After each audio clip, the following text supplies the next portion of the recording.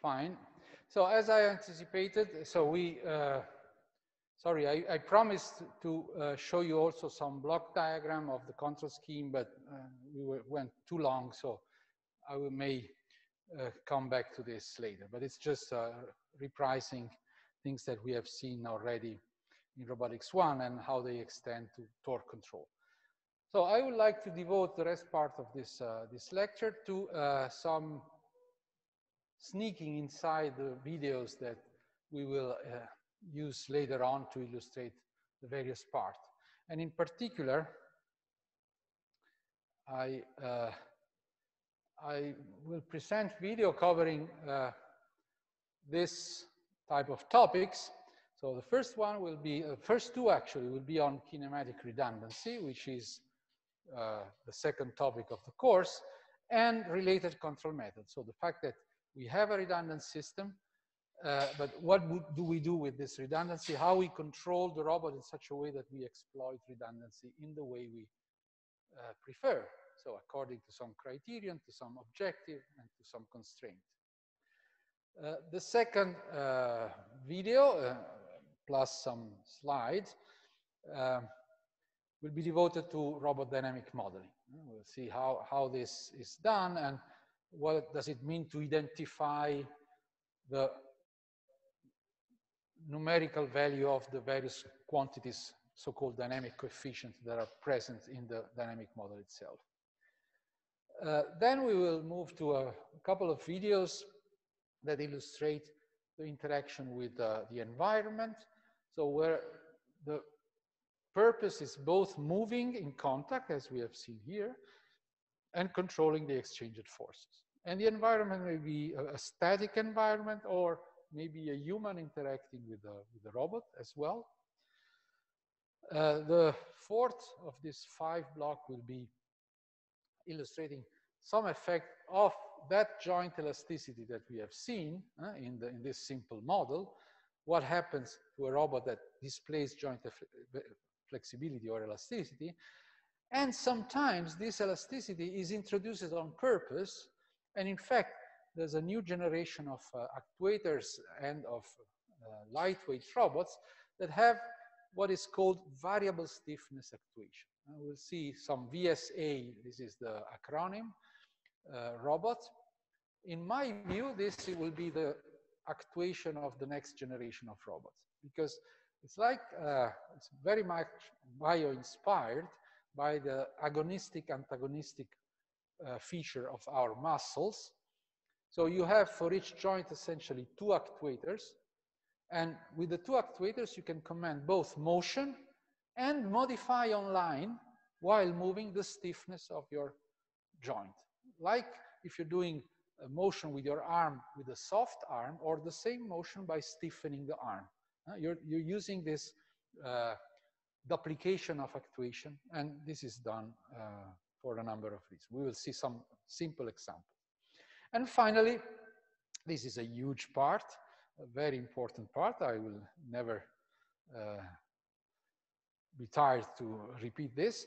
So the human-robot interaction and collaboration under physical uh, condition and under safety constraint. Because indeed, if we bring the robot in contact with the human, the first thing that we care is safety of the human.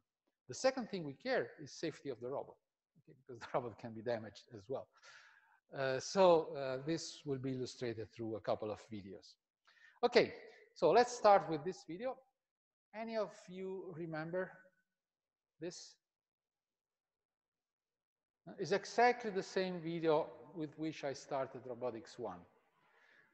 I only changed, I mean, apart from some uh, refinement, I only changed the subtitle because uh, at that time we were only dealing with kinematic redundancy. Now I say kinematic slash dynamic control of the redundancy and also a specific algorithm that we will see in detail, the so-called saturation in the null space, SNS algorithm that we developed a few years ago, that is able to handle, to use redundancy in order to avoid that you hit some hard bounds on robot motion. And the bounds are joint limits or velocity limits or acceleration limits, or even torque limits. And at that point, you have a dynamic issue, okay? So uh, the idea here is that uh, this robot is, by the way, it's one of robot of the robot with which we have done uh, most uh, experiment in our lab. This was still in the lab of Stanford. We, in 2012, we didn't have this robot at home. And uh, one of our PhD students went there and implemented the, the, the, idea that we had in mind, and we have replicated things here. So uh, this is the lightweight, seven degrees of freedom, seven joints revolute. Uh, the task that the end effector should do is just a positional task. So the tip of the finger, you see this tool, I mean, it's just a finger, uh, should move in 3D according to some trajectory. So the task is three-dimensional. The robot has seven degrees of freedom. So we can have four degrees of redundancy in the sense. Okay, what do we do with this? Here, we avoid the bounds of joint motion, but also we avoid the presence of collision with the environment. You see that robot starts, will start from the uh, top, uh, the red dot uh, high, the red line is essentially the transient through which the position of the end effector will reach the target motion, which is going along the circle, the green circle. So this is the transient part.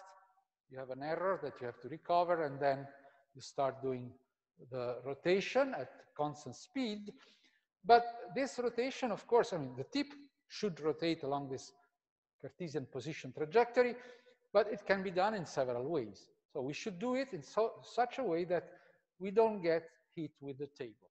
And you see that this circle is, goes very close to the surface. So while the tip standing, um, being on the green trajectory will not hit the surface, but the rest of the body of the robot may hit the surface. So we use redundancy in order to avoid collision. It's like having some bounds that cannot be violated, both in the joint space because of the capability of the uh, actuators and of the kinematics, and in the Cartesian space because of the presence of obstacle around the robot. So uh, this is the motion. So the task, uh, we will see that the null space will be, uh, I mean, we already introduced the concept of null space. In fact, it's the null space of the Jacobian, and then uh, the, their extension uh, when the Jacobian is non-square. So you see that more or less it goes. I, I, superpose these green and red parts on the, on the video. So you see that it gets very close to the surface, but avoids to be there. Indeed, the obstacle is known because it's the table. We know where the table is with respect to the base frame.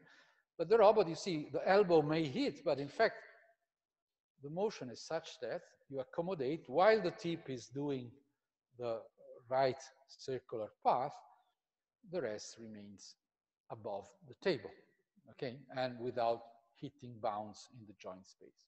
Okay, so this is something that can move from kinematics to dynamics once you include the proper dynamic model. Hmm? It can be treated at the kinematic level, but also at the dynamic level. If you consider torque bounds, of course, you have to include the dynamics. If you just consider kinematic bounds, you can treat this at the kinematic level. I will make a presentation at the kinematic level, but because we introduce this as advanced kinematic stuff, in fact, here we, out of the redundancy, this is a way of using redundancy to satisfy hard bounds, so bounds that can never be violated. You cannot have a task that you approximately do. If you have a limit, you cannot exceed the limit at any time, okay? There are other situations where you would like to you know, follow a trajectory, but if you're not able, you relax, you will have an error, you minimize the error, but you can still do a trajectory motion. While violating hard bounds in the joint space or entering to object in the Cartesian space is impossible. So this is, requires a special treatment. So here is another nice example developed by a French group with which we have uh, partly collaborated from LAAS in Toulouse, the center of uh, the CNRS center in Toulouse. uh, which deals with a humanoid. Now, you may have known, you, you may have heard myself speaking several times. We are not doing humanoid mobile robot. We're doing fixed-based robot. But in this case, the humanoid is not walking, it's standing still. So it's like a serial manipulator with multiple branches, okay? So uh, many degrees of freedom for the HRP2. This is a Japanese uh, humanoid robot. And uh, you see that this, this is a technical paper, it's a scientific paper that has been uh, published uh, more or less 10 years ago at this time.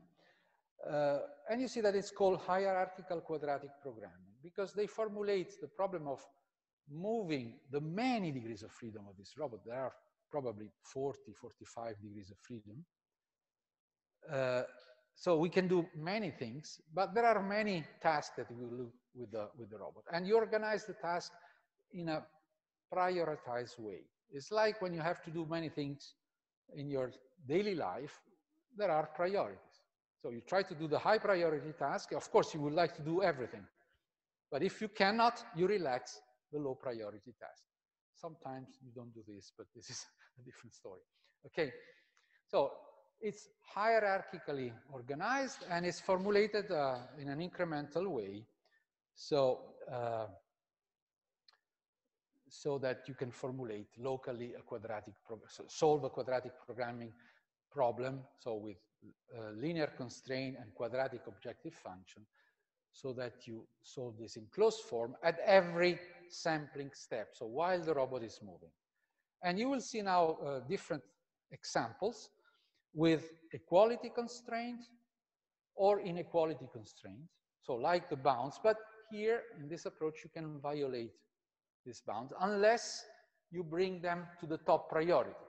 So you bring an inequality constraint in the joint space, you cannot violate, it's the first thing that you have to solve. So you're using in part your redundancy for doing things that cannot uh, avoid to do. And you will see for each task, there will be a prioritized order.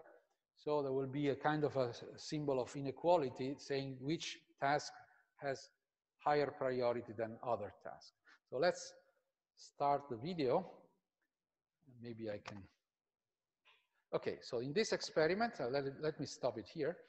So you see that the robot should track a moving ball with the right hand. So there's a ball moving. This is a simulation first. Huh? So a moving ball in the workspace, and with the hand, the robot should grasp huh, the, the object.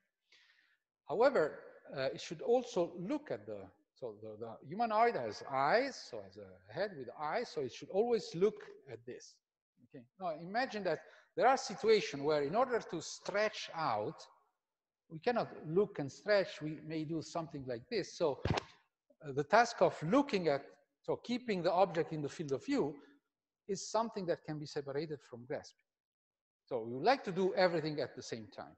And of course, the, the robot is standing on its feet, but it should remain in balance. It cannot fall. So the center of mass of the whole body should remain, so the, the vertical going through the center of mass should remain in the uh, support area, which is the convex hull of where the feet are placed. So there's an area, so this is like keeping equilibrium. Huh? If you do it on your body, you understand what you mean. Okay, if you're standing on one feet, your support is only the standing feet, the, the feet on the ground. If you have two feet, the support area includes also the area, uh, the convex hull of the two feet. Okay, so uh, you try to do everything. If you're not able, and there are conditions that you check at every sampling time, then you try to relax the lower priority order. And you see that here the highest priority is joint limits. So this is the first task. Never avoid, never violate this task, okay? And these are inequalities because if you're inside the joint range, there's no constraint. But if you get closer and you touch a limit, then this becomes a, an equality constraint. You cannot violate in one direction, but you can re-enter into the range. So the switching of active constraint and inactive constraint is another critical point. So next to the joint limits, we have contact support. So uh, having uh, uh, the, the, the feet on the ground, then the grasp with the hand, then the field of view, and then the balance. It's strange to say that the balance is the last one, but the contact support is the first task, then balance means in the sense not, I mean, within the equilibrium, you try uh, to stay close, but you can also violate in the limit this situation. So, and this is, oh, sorry, I stopped this. So, uh, and this is what happens. Okay. The first experiment, it's a simulation. Again, you see uh, the yellow ball, the field of view, the ball is moved and the robot tries to grasp it while satisfying all constraints. And if not, it will relax, for instance, the field of view, like here. No? So he's holding the object, but in order to reach there without falling, it needs to this, do this motion. And here is another situation where it has to turn the handle, but when it's too hard to use only one hand, then it uses both hands. So it asks more degrees of freedom in order to apply more force. And we have seen that. Of course, with two arms, you have multiple actuators uh, involved in the rotation, while not colliding with the other environment and, and doing the task. The third experiment, let me pose it here, uh, is um, the fact that, again, with the ball moving around in the workspace, but you try to use only the upper limbs.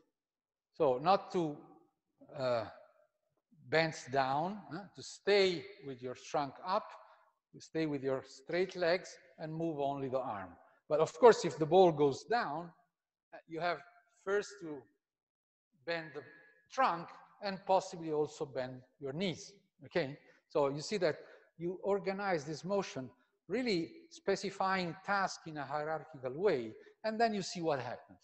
It's not, you're not fully programming the motion of 45 joints. You let this joint move according to your objective, and which these objectives are organized as several tasks. And you can do this because you have many degrees of freedom and you have redundancy. Okay, so this we will see how to do this in practice. So let me continue with the, the video. Again, the yellow ball, now it's simple. You see that uh, the, the robot is not really standing with straight legs, but this is the normal position. So the chest remains straight. Now, now the legs uh, change first, and then the chest is being bent in this condition. Okay, so you see that you can organize uh, motion. And of course, if you relax the grasping condition, the other task brings back the robot is in upper trunk and straight leg. And this is, has been also uh, implemented on the robot. Uh, the ball is not there. The ball is, I mean, the robot sees a virtual ball, which is this yellow that moves from one place to the other. All the rest is, is real. And of course, uh, this ball is being brought into a box with real oranges. Okay, so this is uh, a superposition of augmented reality with uh, real world. Okay, so uh, you see that this is controlling the motion using this uh, task priority methods, handling uh, equality and inequality constraint with priority. Okay, so these uh, three videos, are, uh, there are two real videos and one simulation. These have been uh, taken in uh, our lab. This is again the KUKA lightweight robot. And here we are acquiring data in order to do identification of the coefficients uh, of the dynamic model. So we have first derived the model in a symbolic form like we have written the model for the single mass or two mass, more or less it's much more complex, but there's a systematic way of doing this. So once you have this, you reorganize your model and you have to put numbers in place of the masses, inertias, and so on. how, where do you get this number? You get this by generating some motion, so applying some torque, so you know it is the torque that you're applying, and collecting the actual motion of the robot from the encoder measurement. So offline from the motion of the joints, so the Q, you can also take the Q dot and Q double dot, the first and second derivative. And this is not, it's, it's critical task, but not so critical because you can do this offline. You don't have to do it while moving. And then you can formulate uh, essentially a least square problem and solve for the uh, coefficient in the model. And of course, once you have done this, you would like, like in any case, when you estimate something, you would like to validate your estimate. So you do a model validation by considering new motion. You see here, the robot is moving and it is exploring all the configuration in its, in its workspace. Actually, uh, the method that we've implemented takes advantage of some software capability of this robot. Otherwise, you should explore the configuration, but also with different speeds, because this will excite some Coriolis and centrifugal effect. Uh, we don't need to do this here because of reason that we will detail later on. Okay, now once you have done this, uh, you take a, a, new trajectory.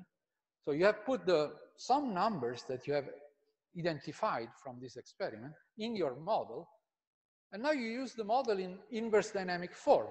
So you say, if I want to do some new motion, not the one that I, uh, where I collected data, no, this is very important. The validation should be done on a different set of motion.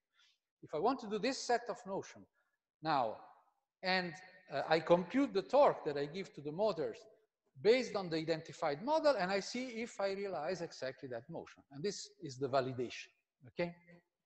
So these are different motion with respect to the one on the left where we acquire data. And of course, all this can be also simulated, and this is what happens with a simulator that you have in VREP. The model of the KUKA lightweight robot 4 is already there, so you have only to interface this with your own code. And remember that uh, Coppelia Sim, the new name of VREP, uh, there's a, an educational freeware. Of course, uh, you can buy the license and you can do more fancy stuff, but the educational version is more than enough what you need. Okay, in fact, we have always worked with the educational freeware version. Okay, so to get into the picture, let's consider only the effect of gravity. Now, we have seen it in one of the example on the blackboard, uh, where the 2R robot was interacting with the environment and we had gravity and we said, okay, we have to cancel gravity of the picture, then the problem remains a pure kinematic one with the J transpose. So the gravity term, so how the gravity acceleration, so the gravity field in which we are immersed acts on motion depends only on the configuration, okay? So if you think of your arm in a certain configuration, if I'm here standing still, I have to sustain gravity. Of course, there are some configuration where I don't have to sustain gravity. For instance, if I put my arm down, of course, here gravity is zero. Also, here gravity is zero, although this is an unstable equilibrium because as soon as I move it out, I will fall, okay? So there are configuration where, I mean, gravity changes with configuration. So I can write a vector of gravity torque. So one torque for each joint. So this G is a seven dimensional vector, function of the configuration, but not function of anything else because in order to sustain gravity in this configuration, it makes no, sense, no difference if I'm standing still here or passing with some velocity through this configuration. The gravity field is a potential field, so it depends only on position of the bodies, so on the configuration of the arm. Clear enough? So this is why we can write g of q. Now this g of q, so a vector function of the configuration which contains a number of parameters can be always factorized by a matrix Y, which has as many rows as the components of G, so in this case, seven rows, times a number of columns, as many as are the dynamic coefficients that appears in the model. Okay, In this case, the pi grec of g, the dynamic coefficient, is given by this symbolic expression. And there are, in fact, 3, 6, 9, 12 such coefficients. There are this symbolic expression that you have obtained by doing the symbolic modeling of the dynamics of the arm. And if you look carefully, you recognize some, uh, some parameters which are relevant. M3, and 4, 5, 6 to 7 are the masses of link 3, 4, 5, 6, 7. You see, for instance, there's no mass of link 1. Why is that? Why the mass of link 1 is irrelevant? What do you think? So let me go back to the previous and let's see how, so the, the, the link one is this object below. I don't know if you see my, is this mass here. And when it moves, so it rotates, but the center of mass is exactly on the axis. So uh, it's compensated, it's like the previous case. The mass of the first link does not feel the gravity because the axis is vertical, okay? In fact, when you do the modeling, you don't, this is not an assumption a priori, it's the result of your modeling and you will find that mass one is disappeared. What are these C's uh, number XYZ are the coordinate of the vector going from the origin of the frame attached to the link, kinematic frame, so the Denavit-Hartenberg frame, to the center of mass. In general, in our previous planar case, we call this DC1, DC2. It's just a scalar. In the general case, the center of mass uh, is located by a vector with three components, x, y, z of link 4, 5, 6, 7, and these are the, and you see that there are products of masses times distances, all have the same units, pay attention, if you find a single mass in this expression, you have done some mistake because you're adding apples and oranges. Masses are kilograms, mass times distance are kilograms times meter, okay? So in fact, you see that they are all consistent. And D2 is a kinematic parameter, is a, actually the D2 of Denavit-Hartenberg, uh, one of the four dynamic parameters. So you see that you have these things. Now you do this experiment and you extract some numbers for this coefficient, which means that the gravity term, once you put these numbers inside, and you know which configuration the robot has, so you know Q, and you know Q from your encoder measurement, then you can compute always the gravity in any configuration, okay? So this is only part of the model. And in fact, when we do the validation, here you see some motion, and you don't really tell the difference between the retrieved G of Q, which is an information that uh, the KUKA controller can give only numerically, and the one that we have computed with our identified model. The plots are fully superposed, okay? So we were able to identify correctly the parameters that the manufacturer may know, but does not give to the user. Okay, so we had, we made a sort of reverse engineering here we asked for the parameters, they say no, and we said, okay, we will find them by ourselves, and we published uh, in, a, in a journal so that everybody can use it, okay? So uh, this was just gravity, but the model that I wrote at some point in, in my, on the Blackboard, so this phi of q, q dot, q double dot, in fact, in general, takes this form you have a, a, an inertia matrix, which is a function of the configuration, times the acceleration. Then you have terms which depends on the velocity, which are the Coriolis and centrifugal forces. And then you have the gravity, and then you have the input torques produced by the motors. This is the general form of the dynamic model, okay? Now, when we're doing identification, each of this term can be factorized like the gravity part. So you can estimate the coefficient inside not only G, but also inside C and inside M of Q. And then uh, you can compare uh, the result with some desired motion. So if we model the system like this and we neglect the presence of friction, you see that there's no friction in this model, uh, like the tau friction that, or the F friction that we have introduced in one of these examples. And then we do the testing and we compare, this, this robot has joint torque sensor, so we can really measure the, joint, the torque that passes through the transmission. And you can see that we were able to capture on a new motion with our prediction the measurement from the sensor. The measurement is uh, in, uh, uh, in blue, while the estimated torques based on our model are in green, and you see that they follow quite closely. There's an error of the order of one, two Newton meters, okay? Joint two is very accurate, but you should see the scale there. So the scale is from minus 50 to 50. Other plots seems to be dramatically in error, but in fact, there's a range between minus 0.5 and plus 0.5.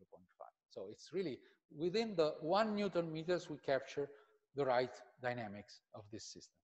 However, we decided also to add, add a friction model. So, okay, what is left? Can we model also this part, which is pretty much difficult, I would say. It's a completely different story. So if we do this extra modeling and identification, and then we redo the experiment, including the identified joint model, joint friction model, and you compare the solution from left to the side, you see that there's a considerable improvement, okay? So the remaining part was mainly due to the friction, which was missing in the first dynamic model, okay? Okay, then uh, we move to uh, motion and interaction control. These uh, are two short videos taken again from DLR. We have uh, we have had a long collaboration with DLR. I spent also part my only sabbatical I spent in 2005 Uh, in this center of uh, the German Aerospace Center near Munich. So here you see uh, again the KUKA lightweight robot on the left-hand side, he's carrying a heavy payload. Now, this KUKA has harmonic drives. So it's a very light weight robot. In fact, the whole robot weighs 14 kilograms, 14, so one four, and is able to carry 14 kilograms of payload, so its own weight. If you remember correctly, uh, when we talk about industrial robot in general, we say that because of the requirement of being accurate and massive, we have robots which may weigh 130 kilo or 250 kilo and have a payload of five kilograms, which is definitely a, a, a limitation, okay?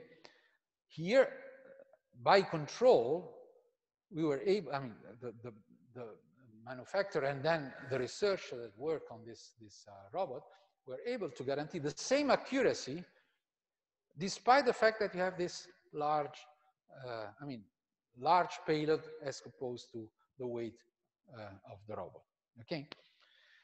However, and this is also thanks to the presence of harmonic drives. However, harmonic drives introduce flexibility in the structure, exactly that spring model that we have seen between the two masses. Uh, we are moving the motor but the motor is not rigidly connected to the link. There is some transmission which has some compliance. So what happens with this compliance?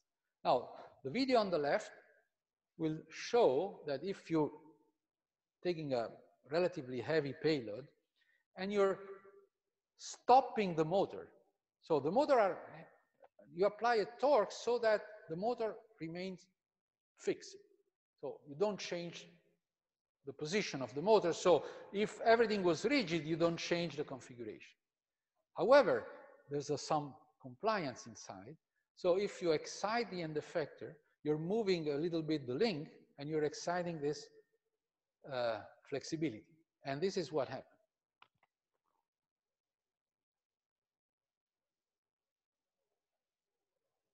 So the motor are not moving, but because of the presence of some compliance in the structure, you have this oscillation.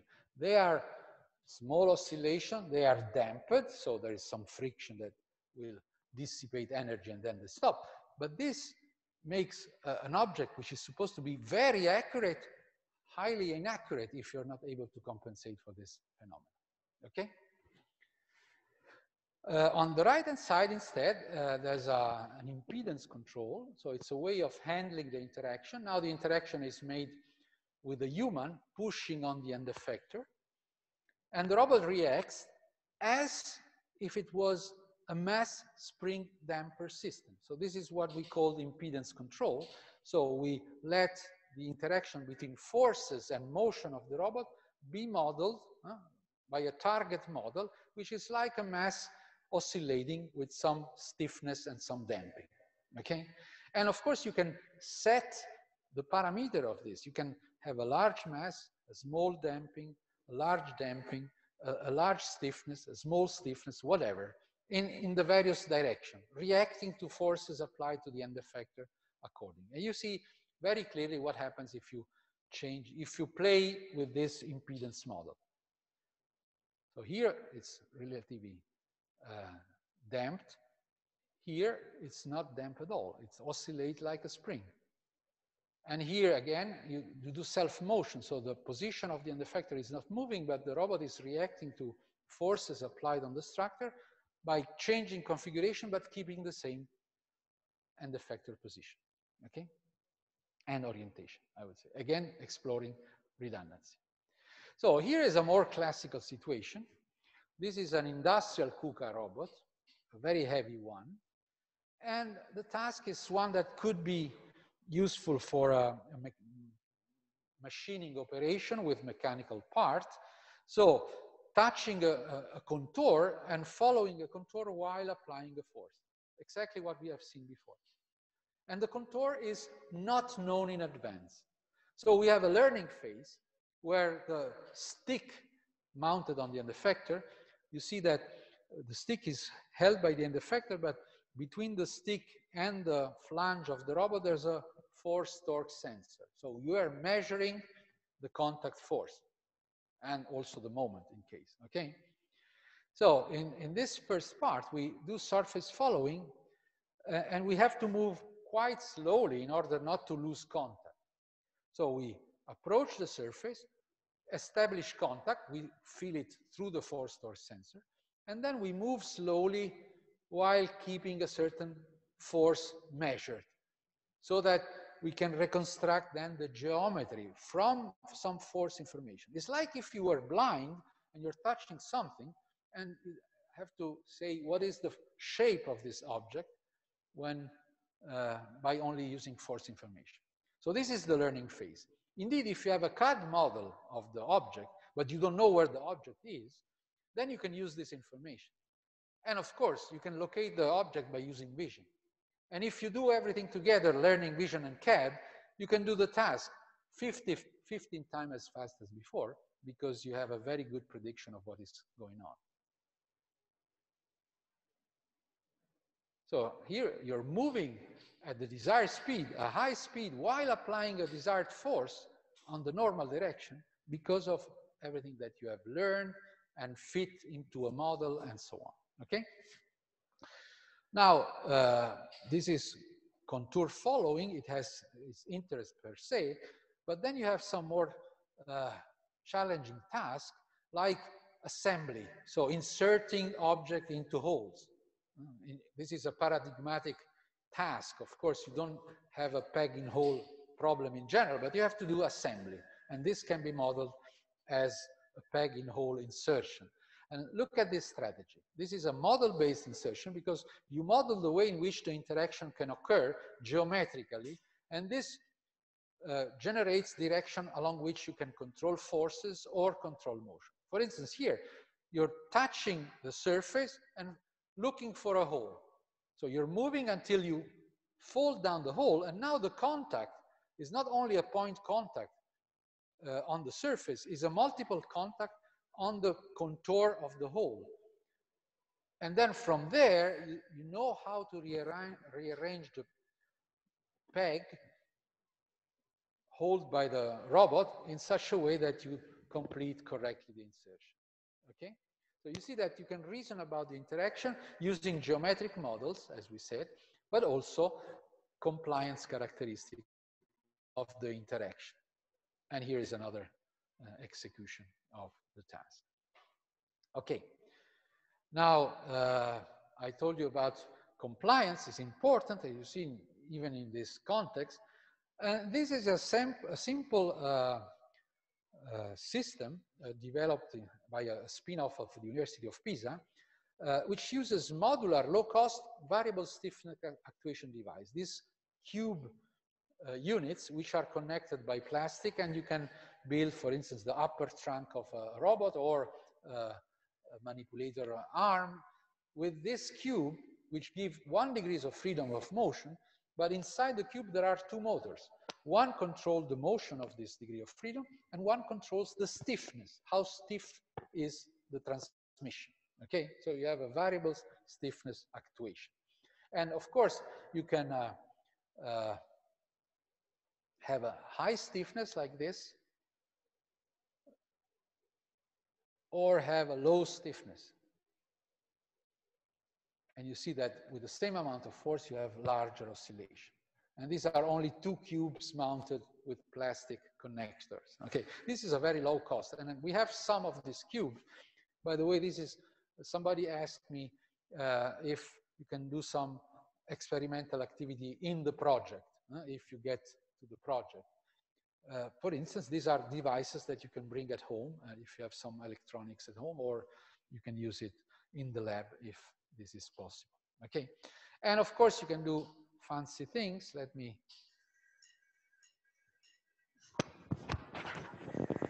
I don't know if you can hear it. You can throw things. You can increase the frequency. Actually, we had a demonstration here uh, in a one workshop. You can have very robust behavior because you have compliance in the structure. So you're not stiff enough. Imagine when you're holding a drilling machine, you have to make a, a, a, hole in the wall. Now, the drilling machine is a very high vibratory object. If you have a stiff robot holding this, the robot will be destroyed by this vibration. Unless you are compliant so that you can absorb the high vibration content of such a device. Okay, so this is very important, huh? having compliance stru structure that are able to be robust with respect to external force. Uh, I was saying that this device, sorry, I, I will turn off the, this device was uh, in a workshop that we organized some years ago here, we were able to make it, we programmed the variable stiffness in such a way that this simple object was playing the drums on one famous rock song. I don't know if you know My Sharona if you ever heard about that. If not, listen to that. Listen to the drums there, and this was replicated by this type of robots and could not be replicated by a, an industrial robot which is too stiff for doing this high frequency uh, replication of periodic motion. Okay, and finally here, uh, the last, I hope this starts, yes. The last uh, video shows, uh, again, a peg in hole op operation where you take advantage of the compliance of the structure. So you start with a hole which has a diameter of 30 centimeter or three centimeter probably, and 29 is the peg. So you have kind of a, a clearance. So it's, it's easier to do the insertion. And then you uh, change the object and you have a situation where uh, the peg diameter is 29.5 millimeters and 30 millimeters is the, so three centimeters is the diameter of the hole. So now the clearance is smaller. It becomes harder to do the insertion. But you see that you bobble a little bit. So you use the compliance in order to uh, find the right way of inserting and then you're able to insert. It's like a trial and error, a, a, probabilistic trial and error, or random, I would say, but which uses the compliance in an active way.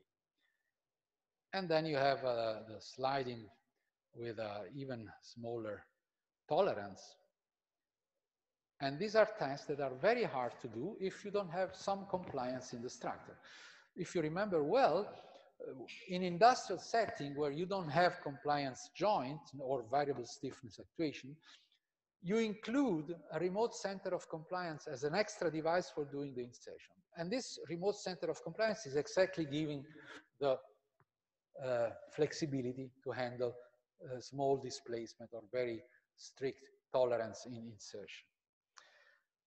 Okay, now last part is uh, about interaction, physical interaction. And this is a video here, I'm um, quite younger, uh, so 15 years ago, uh, at the DLR, where I was uh, in my sabbatical, where we experimented for the first time the capability of detect a collision between the robot and whatever, the human, but it could be anything else, without using sensors. So without using cameras or without using a touch sensor uh, or any other form of sensing, but only based on the uh, dynamic model derived for the robot and used to predict any extra force that intervene in the motion. So the robot was programmed to do a, a free motion back and forth. And as soon as it detects a collision, it flows in a, I mean, it stands still and then react to any additional force that you applied like a, a floating object, okay? And this is what happens. So the robot stops because it recognizes that it hits something. And then from there on is gravity compensated and reacts to any force, even if there's no force sensing. Okay? And this is based on the uh, use of a residual signal that we developed. And then later on, this concept was uh, embedded in KUKA industrial arm, I mean, of the lightweight generation. Uh, at that time, there was a master student, so somebody like you, Sami Haddadin, uh, that worked with me in the DLR, and he was made a number of experiments. And this is one of the most famous video on this topic. So never do this. Okay, so he tried on himself huh, the capability of stopping having recognized a connection. Okay, so never do this unless you're 100% sure of what you're doing in your research. Okay, so if you want to see this again, so the robot would have continued moving. So it was programmed for doing a full round, but then you recognize and stop suddenly. So uh, this was a smart student, I must say. In fact, now uh, is leading one of the big center in Europe of robotics uh, at the Munich School of Robotics and Machine Intelligence. So I don't know if there's a connection between these things, but anyway, good to know. So uh, here I have a, a, longer video. This video, we presented it at a conference in uh, Japan in 2013, uh, and it was a finalist of the video competition. Unfortunately, we reached only the position three, but still uh, is a good value.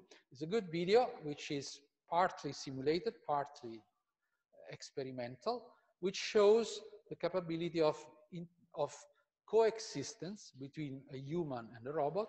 So the robot can, the human can enter into the workspace, get very close to the robot, and the robot, which is doing some periodic repetitive task, we recognize this by the presence of an external sensor, in this case, because you don't have contact.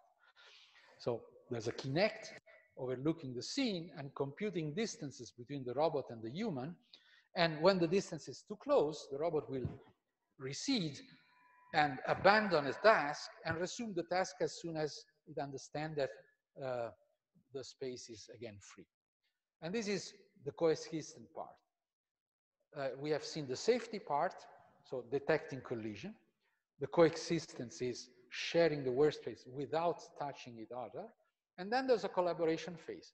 When the user grasps the robot fast enough that the robot cannot escape, and we are faster than the robot, in fact, when we are very close, then the robot understands that you want to have a collaboration and then will follow whatever forces you apply to the robot.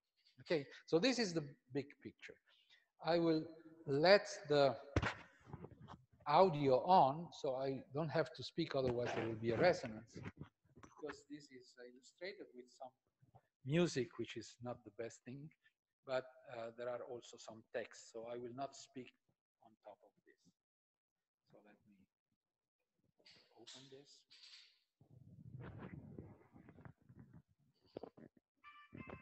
Within the FP7 European Congress, physical collaboration between humans and robots that goes beyond conventional solutions for safety.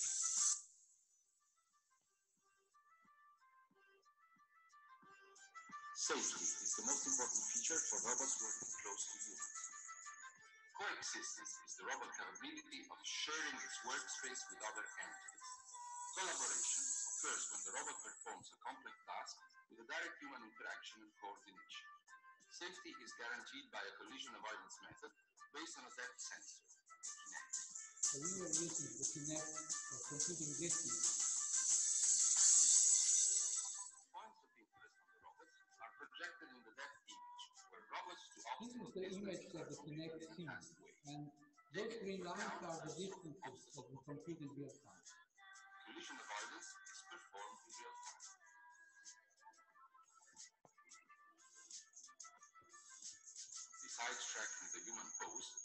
Also static or moving obstacles are detected, checked, and avoided.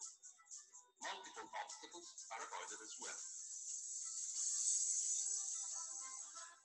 Except for the end effector, all other robot points of interest will treat obstacles as geometric constraints in the Cartesian space. A collaboration phase is started by the user with a simple gesture. So here we use the gesture, hand waving to say, I want to collaborate. This geometric information is collected together with the joint torques resulting from the contact, as obtained by our residual-based estimator.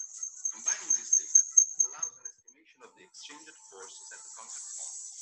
Those used So now we are collaborating, so using the force estimated by the request and the residual method, the robot follows this force to safe manipulate. coexistence is guaranteed. Of course, uh, This is a hierarchical strategy. So Uh, if you want to collaborate, you still have to avoid any other collisions. So you have a priority even in this case.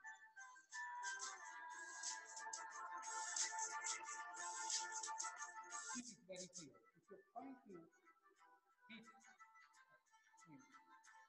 to follow the command but hit another part of the body, then the robot resists because coexistence is more important than is more important than. Okay, this is the collaboration.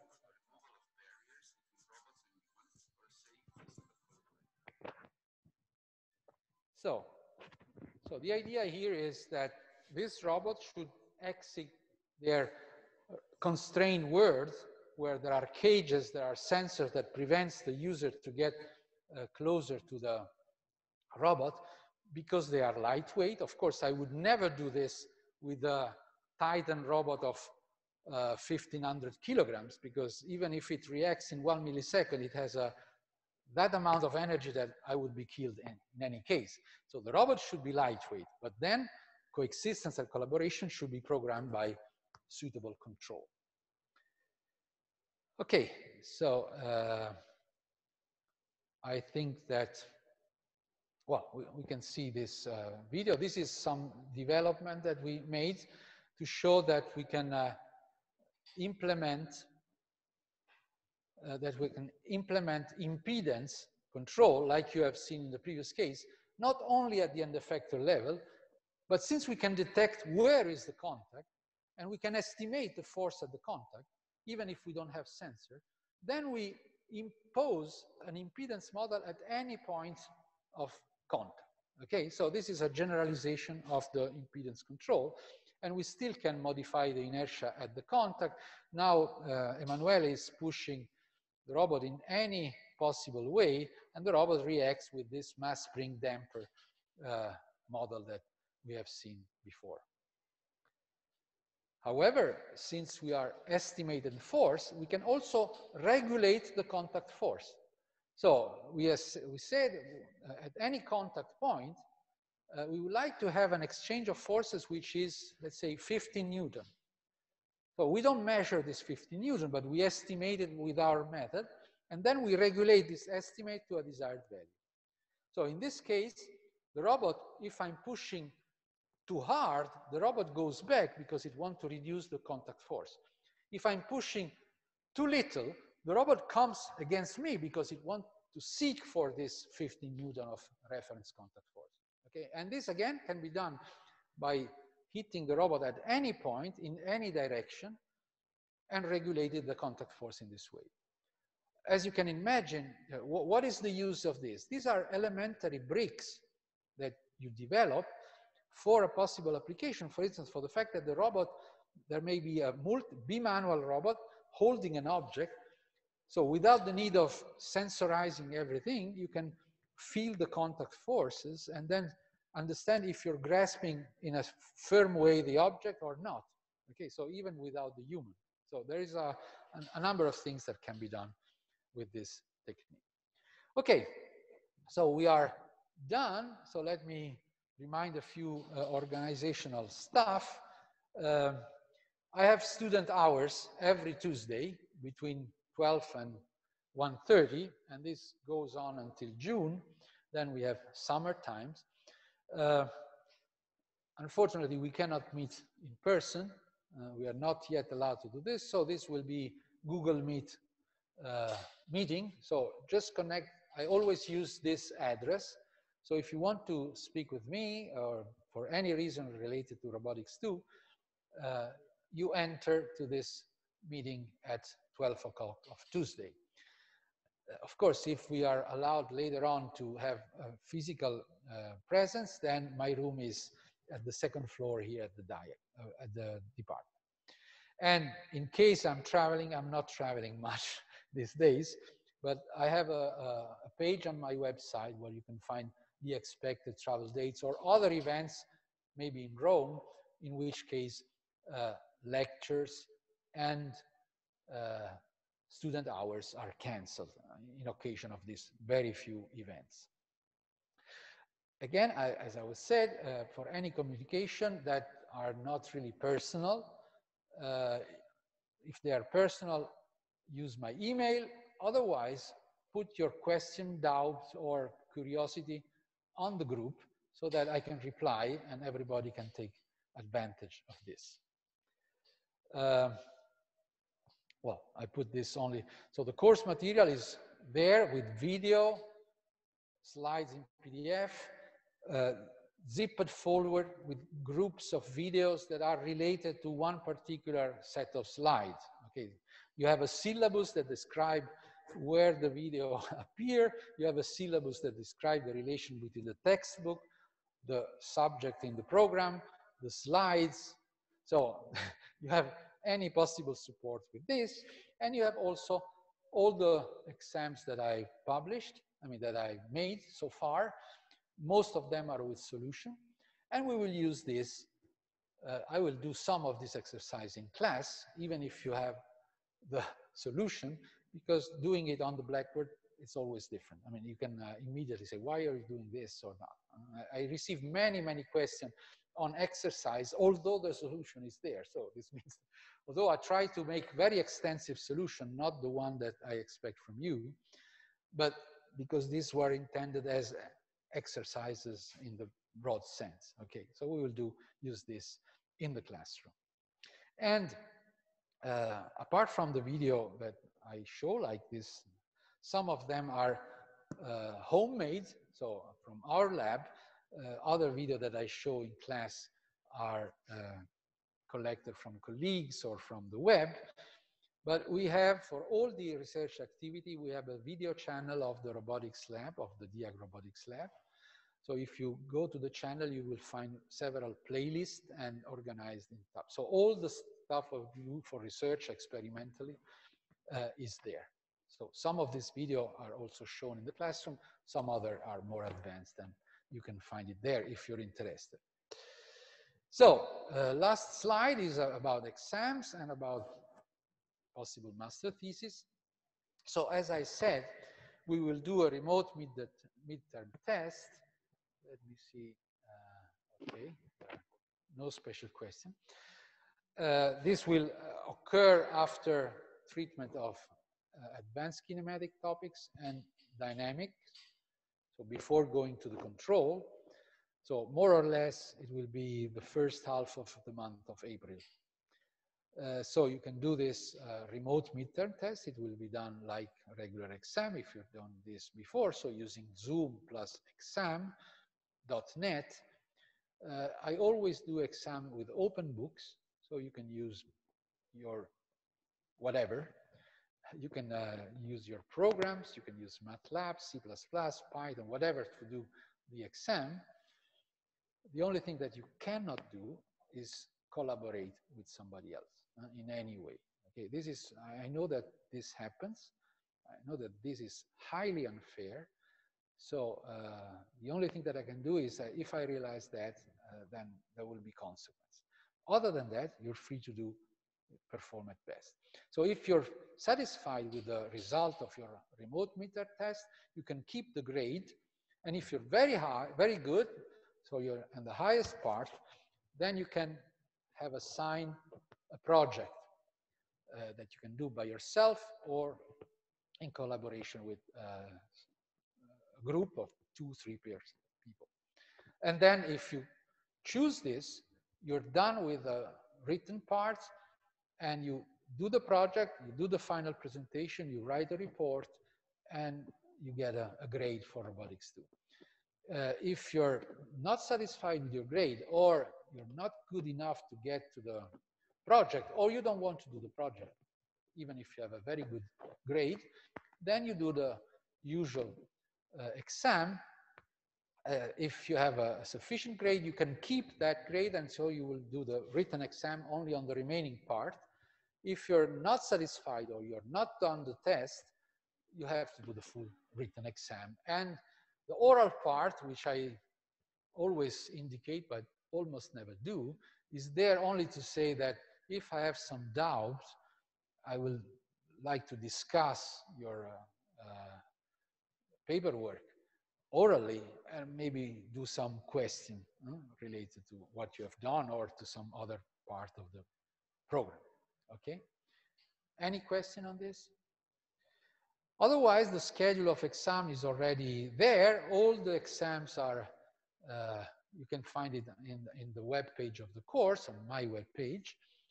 So there will be a one in June, one in July, one in September, and then two more sessions in January, February of next year. So five se regular sessions per year, which is far more than what your colleagues have in other university in Europe and outside Europe. Uh, there are, uh, the booking is made on InfoStud. Remember, we have a recommendation that we close the booking 10 days before, okay? Uh, and I have only one session open at the time. So if you go to InfoStud, you find only one session, the next session open. If you know, want to know when the session here, here, here is it, and look at the website for any updates of that. And of course, there are also extra sessions which are intended for uh, students of the third or higher year, so fuori corso, part-time or with any disability. And there are, I mean, there's a rule for the old Sapienza, which are in April and October. Okay. But unfortunately, these are not open for you, okay? They will be open if you are not able to do the exam by then, okay? So finally, thesis. Uh, we don't run, me and my colleagues, Professor Oriolo, Vendittelli, Lanari, all the groups of the robotics lab of DIAG, uh, we don't run uh, an updated list. We have on the page a number of thesis subjects. Some of them, some of these subjects are gone, but at least give you an idea of what the type of things uh, we offer. Some are with companies, nowadays it's very difficult to have a thesis with a company because they have restriction, the same even farther restriction that we have at the university. But still, uh, some of these uh, are the result of collaboration that we have within uh, European research project or with former colleagues or former PhD students of ours that now work in Spain or France or Germany or in other places in Italy. Okay, so there are multiple things. So this is just a sample of what you can you can find. Okay, then contact the uh, person that is related to that, and he or she will tell you what are the latest uh, uh, subject. Okay, I think that we're done with this. Uh, there is some question. Uh, so if there's a possibility of taking robotics one and two in June. Uh, first of all, is this the last? Let me see. Okay, so do the project presentation take place in the same date? No, project presentation, well, uh, it's too early to that, but essentially when after the um, the result of the remote meter test, I will ask who wants to keep this and who wants to do the project. Then I will present before the end of the course uh, subject for the project. I will do the assignment and then the project goes by itself. You only have to complete it by the end of the year. So by December 2022, uh, 2021, well, with some exception.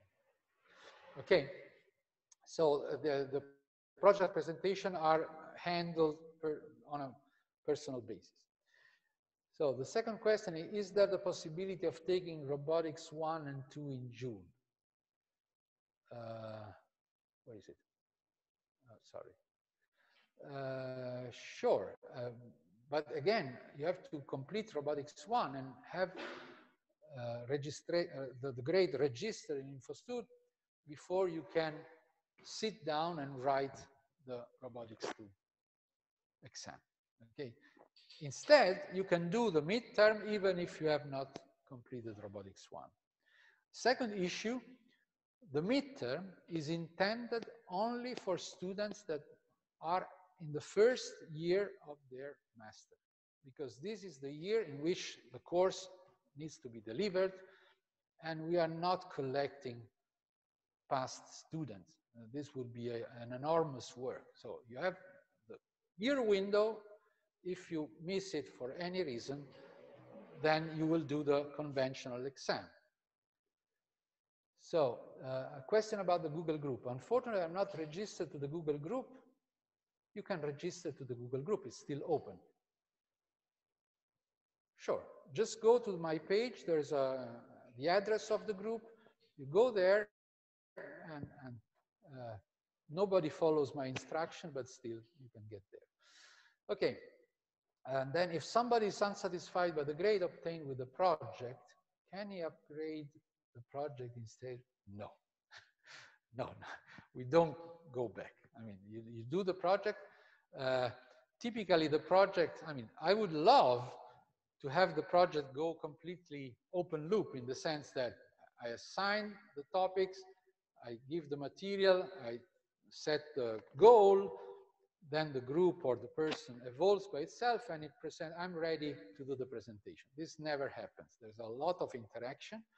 So once you're there, after this interaction, I evaluate the project and that's it. Okay, so the fact that students are allowed to refuse the grade is something which uh, it's not so good because uh, uh, the attitude is, well, I try, then I can refuse. Uh, this is not good enough. So definitely no. More question, more question from the room? No? Okay, so be prepared uh, by, let's say, by the dinner time, you will receive the message with the prescription of what you should do before the next lecture, which will be on Wednesday. So all will be written clearly. Thanks for attending.